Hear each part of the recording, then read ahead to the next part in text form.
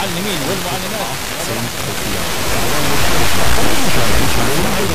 Michael Schär in seiner Profikarriere gewonnen. Den Schweizer Meistertitel und den Etappenleiter. Für mich hat es nicht gelangt. Meistens ist er nämlich für andere gefahren als Helfer.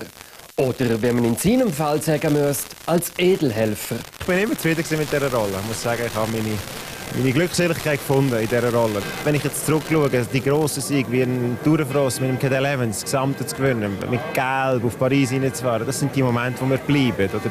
Und von dort her habe ich, habe ich nie etwas vermisst. Der Luzerner hat es auch so weit gebracht. Elfmal ist er für Tour de France nominiert worden, auch weil er seine Rollen als Helfer perfektioniert hat.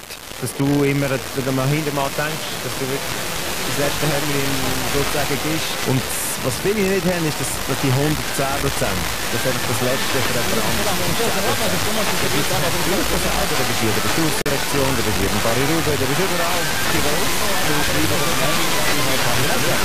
Und dann hast du jetzt gutes Leben. Auch in finanzieller Hinsicht. Tour sind Helfer gut bezahlt, Edelhelfer sowieso. Und